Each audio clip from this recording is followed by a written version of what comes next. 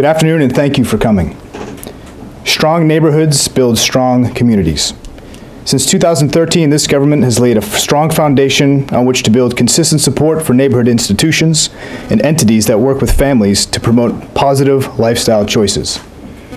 The Cashback for Communities initiative takes the proceeds of crime seized by law enforcement and converts that cash into grants to community organizations.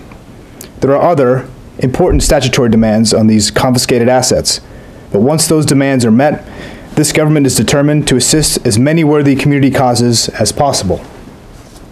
Today, I'm joined by represent- representatives of a cross section of Bermuda's community organizations.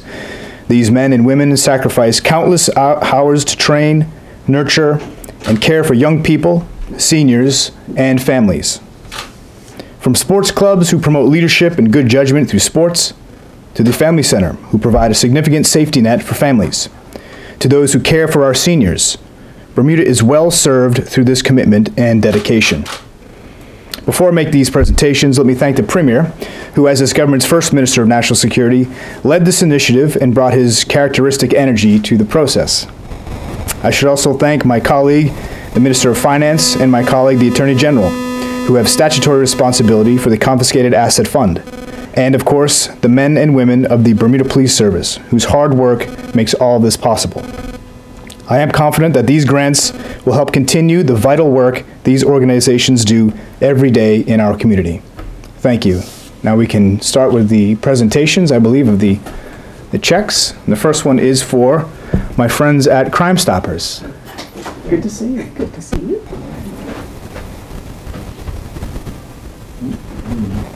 Troika, Bermuda. Thank you. Thanks for all you do. PHC, Pembroke Hamilton Club.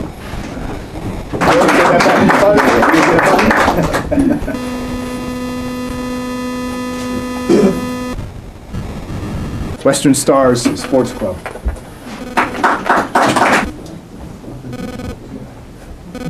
Thank you for letting us do that.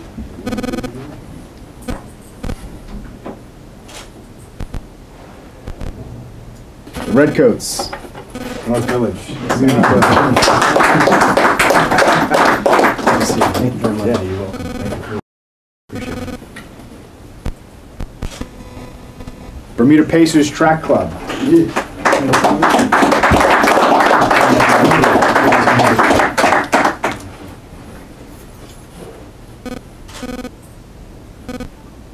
And Care Learning Center.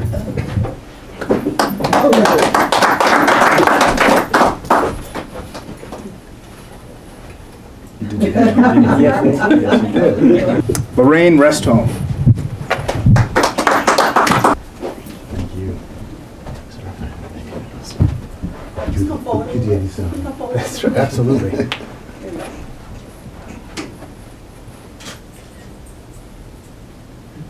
The Family Center.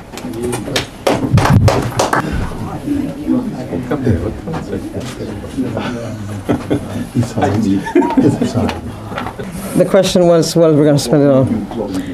Yeah, the uh, Family Center is very, very grateful to receive this um, charitable donation, as I'm sure everyone is. And uh, we have counseling services for families that isn't as sexy as everything else is, so it gets the least amount of funding, but it's the most costly program. It's over $800,000 a year. So these, these funds will go towards the counseling program to ensure that families can continue to get the counseling services that they need. And I- we're very, very grateful to the Ministry of National Security for these funds. Thank you. Quite welcome. Uh, Good afternoon. Um, On behalf of my chairman, David Carruthers, who's overseas right now, and my board of directors, we thank the minister for this opportunity. Um, Crime Stoppers, as you know, have been on the island for more than 15 years now, and we are the silent minority. We work in the communities where we give the public the opportunity of using a telephone number. They can call, and that number is sent over to Miami, where some people are taking the calls, and then they send it back to us, and we give that information to law enforcement. We're the best kept secret on the island, unfortunately. We can't tell the media what we do because, you know, it is anonymous. But with the help of the media, because we're a triangle, we work like the Bermuda Triangle, it's the, the media who promote crime, it's the community who report it, and it's law enforcement who enforce itself. So what we will be doing with this funds is simple. The 100% of it will be going into marketing the number. At the present, we only have two sources of marketing. One is the Royal Gazette that has us on the front page. The other is the marketplace stores where we have it on their bags. And with this funds, we will try to use other sources of getting that number, 800 8477, out to the community. In the short time we have, thanks to the support of our minister, who was a former member of our board, and uh, also former ministers in your position from previous years and previous governments, uh, Crime Stoppers has seized over $25 million worth of drugs that would be still in the community if it wasn't for the community reporting it. Also, um, over $1.5 million of stolen property has been recovered. And all this information has been passed to police and customs, and neither the police nor us nor anybody else knows who gives that information. And this donation will help us try to get some more bad people behind bars and recover drugs that are brought into the country illegally, and of course, give back to people property that's been stolen. Thank you, Mr. Minister. Thank you. Sorry. Just one quick question. How else do you have to appeal to come forward with information? We do public. Our main triangle, as I said, is media, and we like. There is lots of needy charities here, and as we know, the charity funds like ours is dried up in many ways. Unless we got support like we have here and support from the business community, we cannot promote our number. We are very fortunate. Miami Crime Stoppers answer our phones free of charge, and we work with telephone company to deal with um, our telephone calls. But 100% of every fund that we make goes into promoting Crime Stoppers. Those of us in the neighbourhoods, you see the Crime Stoppers uh, neighbourhood watch signs. We run the programme alongside the Bermuda Police Service, and we work with Bermuda Customs at the airport and the seaports. These are two main partners, but we also work with fisheries and, in some cases, the dog wardens and child protection in many cases too, because we get a whole array of calls that come into our number. Good afternoon, everyone. Mr. Minister, on behalf of the officers and members of the Bermuda Pacers Track Club, we certainly like to say thank you for this donation that you have made to the club. It will certainly help us to continue our work in the community in promoting athletics here in Bermuda. Um, this helps to expose our athletes not only locally but to international track meets, and we form one of many of the feeder clubs for the national program.